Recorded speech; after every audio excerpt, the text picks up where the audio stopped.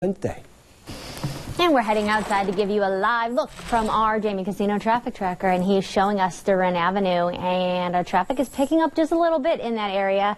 Uh, doesn't look bad, though, for this time of the morning. Let's go over to our maps and to show you some good news about uh, that wreck we've been tracking on a US 80 South just after uh, West Side Boulevard. It is uh, cleared up, and you can see uh, traffic doesn't look too, too bad in that area. Also, looking at 95 over there, it looks good for this time of the morning. Your 16 eastbound live drive times look excellent for this time. It, you, we've just seen some minor slowdowns there, so nothing to really be concerned about at this time over in that area. 280 uh, to 95 going to take you 12 minutes, same as we've been seeing all morning long. 95 to 516 is going to take you 8 minutes, and 516 to Derenne and Abercorn will take you 11 minutes. Well, looking ahead, the Telfair Art Fair is this week.